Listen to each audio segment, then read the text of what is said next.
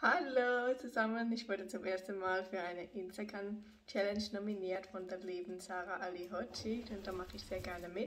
Die Challenge ist unter dem Hashtag Random Reading with You von Sibyl Roth ins Leben gerufen worden und da geht es darum, eine Seite in einem Projekt vorzulesen.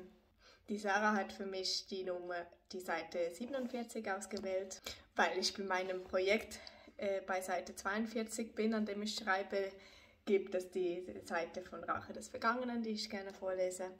Aber bevor ich vorlese, nominiere ich zwei weitere Menschen für diese coole Challenge, und zwar einmal die Kerstin Rotenbecher und einmal die Sarah Joe Clark. So, dann beginne ich mit dem Lesen und übrigens, diese Seite ist aus dem, Einzig also aus dem Kapitel von Lorraine. Wo arbeiten Sie denn? Bei meinen Eltern. Sie schob ihre Brille hoch. Na, aber dann bekommen Sie bestimmt Kost und Logis, oder? Schon, aber ich möchte ausziehen und einen Job finden, bei dem ich Geld verdiene. Na dann viel Erfolg, niemand hält sie auf. Die Frau wandte sich wieder dem Bildschirm zu. Doch, aus diesem Grund bin ich hier, sagte ich betont ruhig. Allmählich macht mich ihre gespielt naive Art wütend. Ich brauche nur vorübergehend Sozialhilfe, bis ich einen Job gefunden habe. Ihre Stirn legt sich in Falten. Na hören Sie mal, da kann doch nicht einfach jeder, da kann doch nicht jeder einfach hier hineinspazieren und Sozialhilfe verlangen. Suchen Sie sich eben erst einen Job und ziehen Sie dann aus. Meine Hände wurden feucht. Hören Sie, das geht nicht. Ich kann mir keinen Job suchen, wenn ich jeden Tag 15 Stunden arbeite. Das müssen Sie mit Ihrer Familie regeln. Was haben wir damit zu schaffen?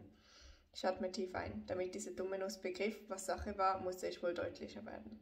Mein Körper zitterte und ich konnte nur noch mit Mühe die Tränen zurückhalten. Ich werde mit Gewalt zur Arbeit gezwungen. Wenn ich sie verweigere, stehe ich auf der Straße. Um da herauszukommen, brauche ich zuerst eine eigene Wohnung. Ein kleines Zimmer würde mir schon reichen, damit ich mir eine menschenwürdige Arbeit suchen kann. Die Falten auf ihrer Stirn glätteten sich. In ihren grünen Augen meinte ich, einen Hauch Mitleid zu erkennen.